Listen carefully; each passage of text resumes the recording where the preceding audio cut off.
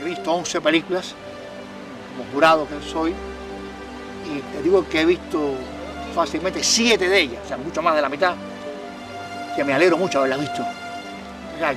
Más allá de que ganen o no un premio, las agradezco como experiencia de un cine diferente,